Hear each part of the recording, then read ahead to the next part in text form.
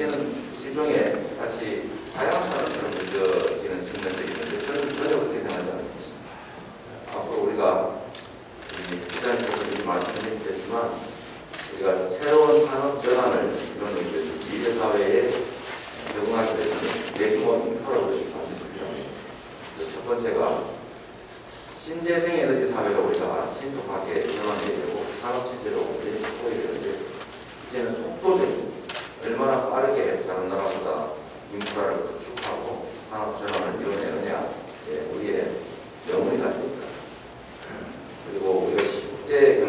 강국이라고 하지만 세계 5대 강국으로 나아가기 위해서는 경제 체질, 산업 체질을 완전하게 바꿔야 되는데 그 토대는 인프라다.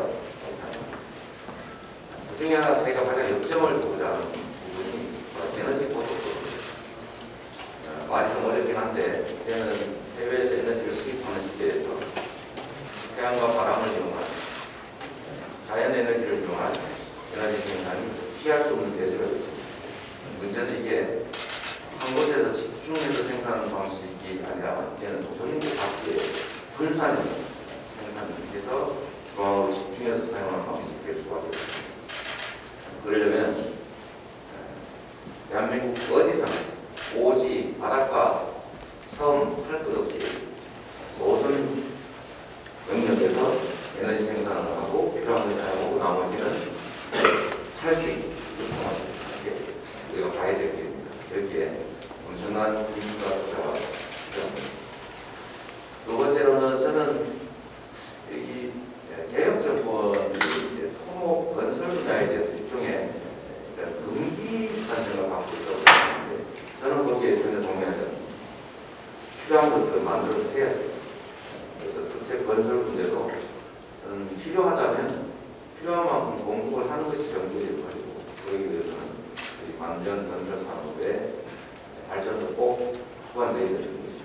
제가 여러분께 하나 드리고 싶은 말씀은 저는 우리 기업인들이 어느 영역에서나 공정하고 투명한 환경에서 내 실력을 발휘해서 내가 기업만큼의 목소리를 가질 수 있는 사회를 생각합니다. 아, 내가 다른 사람보다 세치기를 하거나 아니면 특별한 관계를 위해서 부당한 이익을 보겠다. 이걸로 내가 이 사업의 승부를 보겠다는 사람이 얼마나 많겠습니까? 그, 그 필요에 불과하고. 그래서 저는 여러 가지 좀 바꿔야 될 것들이 있다. 제가 제일 안타깝게 생각하는 건 아마 경기도 쪽에 계신 분들일 텐데 제가 페이퍼 캠퍼니를 많이 계지 않습니까? 근데 이걸 왜 했냐면 사실 그런 거죠. 누군가는 가짜에서 만들어가지고 출처 확률을 높이는데 다른 압도적 가수의 관련 사업자들은 억울하게 끌리고 있지 않습니까? 그리고 그런 거 하느라고 쓸데없이 비용을 지출하고. 그리고 불안하죠. 이거 언제도 문제가 될지 모른다. 그러지 않게 당당하게, 정당하게 내 실력을 발휘할 수 있는 환경을 만들어주는 게 모두에게 행복한 길이다라고 저희가 생각하는 것입니다.